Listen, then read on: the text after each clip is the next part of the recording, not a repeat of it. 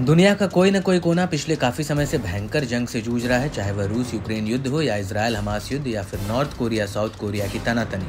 हर देश का कहीं न कहीं किसी न किसी से टकराव जारी है। भारत की बात करें तो चीन, पाकिस्तान पुराने प्रतिद्वंदी रहे हैं, जिनके साथ किसी भी वक्त रिश्ते बिगड़ सकते हैं। तीनों ही देश परमाणु संपन्न देशों में शुमार हैं, जिसको लेकर Swedish think tank Stockholm International Peace Research Institute की एक रिपोर्ट में बड़ा खुलासा हुआ है। सिप्री की रिपोर्ट की माने तो भारत के पास पाकिस्तान की तुलना में अधिक परमाणु हथियार है। इस साल जनवरी में भारत के पास एक सौ बहत्तर परमाणु हथियार थे। पाकिस्तान के पास इसकी संख्या 170 थी, जबकि चीन ने अपने परमाणु हथियारों की संख्या में बहुत बड़ा इजाफा किया है। चीन के पास 2023 में 410 परमाणु हथियार थे। उनके हथियारों की संख्या बढ़कर जनवरी 2024 तक 500 कर ली है। भारत एक तरफ़ पाकिस्तान से मुकाबले के लिए परमाणु हथियारों पर फोकस कर रहा है तो दूसरी तरफ़ लंबी दूरी तक हमले करने में सक्षम हथियारों पर भी ज़ोर दे रहा है। भारत की लॉन्ग रेंज की मिसाइलें पूरे चीन पर हमला कर सकती हैं। हालाँकि भारत के सभी हथियार स्पोर्ड हैं, उन्हें कहीं तैनात नहीं किया गया है। रिपोर्ट की माने तो भारत, पाकिस्तान और नॉर्थ कोरिया अब तक बैलिस्टिक मिसाइलों पर परमाणु वॉरहेड तैनात करने की तैयारी में है।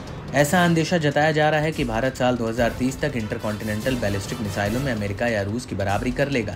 यही वजह है कि भारत की ओर से लगातार मिसाइल लॉन्च किए जा रहे हैं। भारत लगातार लंबी दूरी की मिसाइलों का टेस्ट कर रहा है। इन सब के बीच भारत की न्यूक्लियर पॉलिसी जाननी भी बेहद ज़रूरी है, जिसके तहत भारत कभी भी एटॉमिक हथियारों का पहले इस्तेमाल नहीं करेगा। भारत केवल परमाणु हमला होने की स्थिति में अपने परमाणु बमों का सहारा लेगा।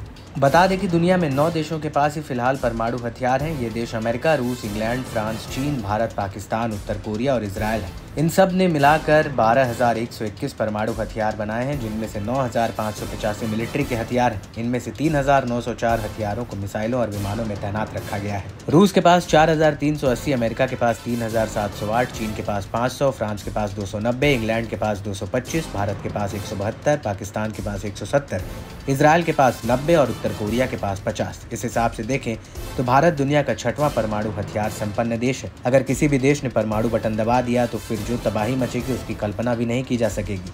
ये तय है कि फिर धरती जो उजड़ेगी, उसके बाद मानव सभ्यता बचेगी भी या नहीं, ये बड़ा सवाल होगा।